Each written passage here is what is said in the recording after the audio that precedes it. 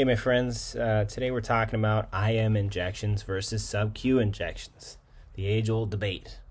It's like people debate over this almost as much as AIs. Now, there's benefits and drawbacks to both, right? Intramuscular injections or subcutaneous injections where you're injecting into your fat or between your skin and your muscle and the lipid layer. Now, I have a demonstration on how to do a subcutaneous injection on my channel if you want to watch that. But I'm going to give you the pros and cons of each so you can make a wise decision for yourself on which one to start with if you're just starting on TRT or maybe if you want to make a switch. Um, and then there's a little bit of really important information you need to know if you're switching from one to the other. If you started on sub Q and then later decide you don't want to do it anymore and you want to switch to intramuscular, I've got a bit of information that you really want to know. So stick around for that little bit towards the end. Okay, so some things to consider. Oil and water don't mix right? If you poured water into a glass and then poured some oil in it, the oil would sit on top of the water and they wouldn't mix. The same thing happens when you inject uh, an oily based substance like testosterone oil into a watery environment like your muscle tissue, which consists of approximately 76% water. So they don't mix, they repel each other. And so the water repels the oil, and the oil is quickly swept up into the bloodstream uh, through the capillaries. Now, the opposite is true if you inject oil into an oily environment, such as your fat.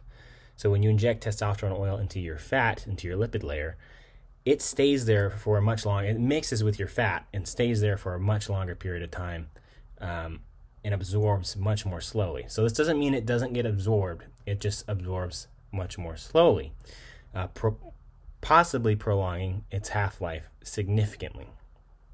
Now, we don't know exactly how long um, it could pro- pro- potentially prolong the half life. So, despite this rule of oil and water not mixing, in that you know uh, testosterone is generally intended for intramuscular use, people have taken a liking to injecting subcutaneously due to its ease and potential to de- decrease estrogen-related side effects. Um, and I'll get into that here with the benefits and drawbacks of each. So, starting with sub-Q injections, um, the first benefit and probably the most purported benefit of sub-Q injections is that it has a much slower absorption, like I briefly mentioned before. This could potentially lead to more stable hormone levels across the week, which could possibly decrease the presentation of estrogen related side effects. Again, this is the primary purported benefit of sub-Q injections. Um, generally speaking, a slower absorption just means a longer half life, right? It takes a lot longer for the um, testosterone to be absorbed into your bloodstream and then metabolized by your liver, where it cleaves off the ester. And then what's left behind is the bioidentical testosterone molecule, which is available to be used by the body. The second benefit of uh, sub-Q injections is that there's a lot less concern for scar tissue buildup.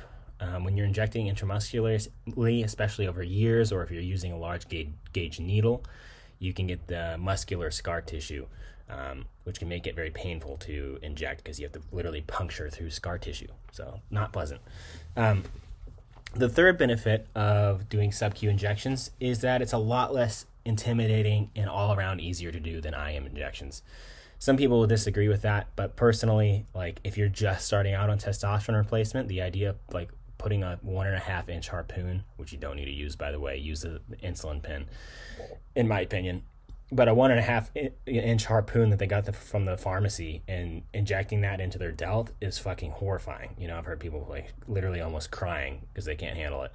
So sub Q is a lot less just psychologically intimidating, um, and that's a huge benefit when you're first starting out.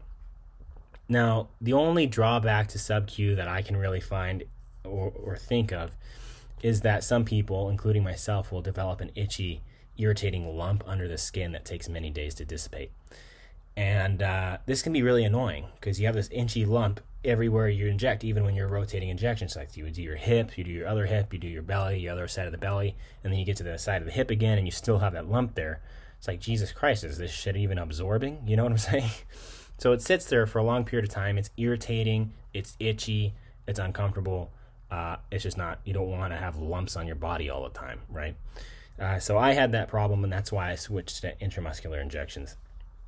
That's the biggest main drawback to sub-Q injections.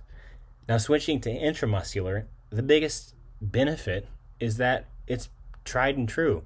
Uh, testosterone was originally intended for intramuscular use only, and we have plenty of research verifying the safety and efficacy of this method. Um, it's been you know used uh, in this way for many decades, and um, we know how it works. And we know, secondly, leading into the second benefit, we know that what we know the rate of absorption. It's clearly understood. It makes it feasible to predict when your levels are going to peak and when they're going to reach steady state because we know its half life. So, for example, the half life of testosterone cypionate is around seven days. Um, it takes about five and a half half lives for a drug to reach steady state if you do consistent dosing. So, if you consistently inject for you know five weeks ish, you're going to be uh, steady state, and then you get labs drawn, and you know you know where you're at on that dose, right? But if you're injecting subcutaneous, uh, there's no data on how long that prolongs the half life. You know, we don't even technically know if it prolongs the half life, although um, there's a lot of anecdotal evidence or anecdotal reports that it uh, absorbs much slower.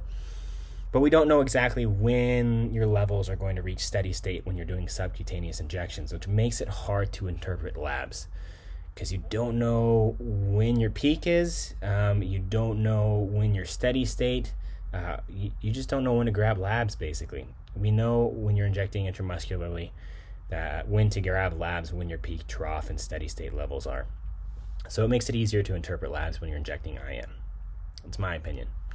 Drawbacks to intramuscular injections are that they can be more painful and it requires rotation of injection sites so you don't build up scar tissue, particularly if you're using large gauge needles.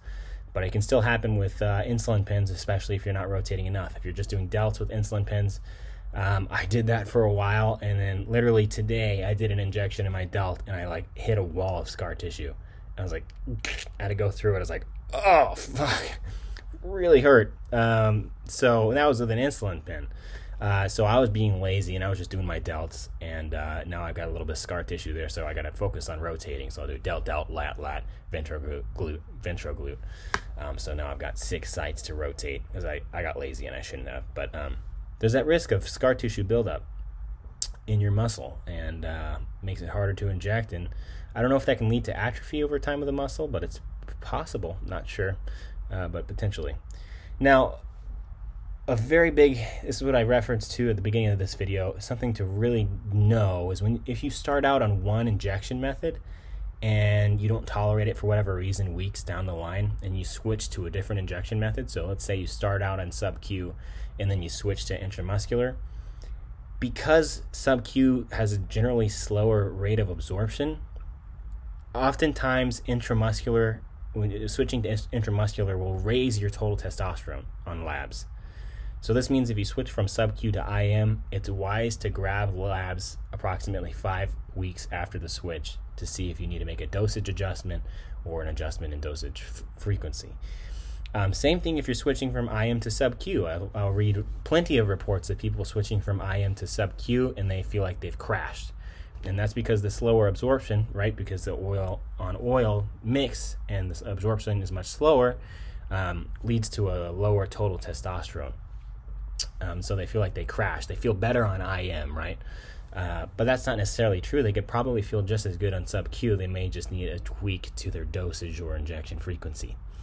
Um, so there's no clinical research to back up these claims, but many TRT users have reported that their labs have shown a significantly lower total testosterone when injecting sub Q in comparison to when injecting intramuscular, even on the same dose and injection frequency. So, because of the reported risk of lab discrepancies, I recommend picking an injection method and being consistent with it. And then if you don't tolerate it for whatever reason, switch and then grab labs in approximately five weeks. But remember, we don't know when um, subcutaneous injections reach steady state. You know, it could be around the same time, you know, but it should technically prolong the half life. So maybe you need to get labs around eight weeks. If you um, are doing all right on sub Q and you just switch from intramuscular to not, not having side effects, you don't feel crashed or whatever, I'd recommend waiting a longer period of time perhaps up to eight weeks before grabbing labs because of that purported uh, slower rate of absorption. So that's benefits and drawbacks to intramuscular and sub-Q. Briefly going over it again, sub-Q benefits, slower absorption might lead to more stable hormonal levels across the week, less scar tissue buildup, it's less intimidating. The drawbacks are you can get an irritating lump, which takes days or over a week to dissipate. Um, IM injection benefits, it's tried and true. Rate of absorption is clearly understood. Drawbacks, more painful. You got to rotate injection sites frequently. And remember to grab lab values after you make a change from one administration method to the other because you don't want to switch and then not grab labs and now you're having side effects or you feel crashed or whatever and you don't have any idea why well you haven't checked your labs so go get your labs done because um, oftentimes people will have a difference in lab values on each injection method not with everybody but i see it frequently so that is the scoop on im versus sub q i hope that information helps you make a good decision uh, on where to start you can always switch if you don't tolerate one or the other. Um, just make sure to grab labs to make sure there's not been a change in your total testosterone or other hormonal values. Um, and if there has been, make an adjustment in your dosage and injection frequency if needed. Okay? That's it. I'll see you guys in the next one. Peace out.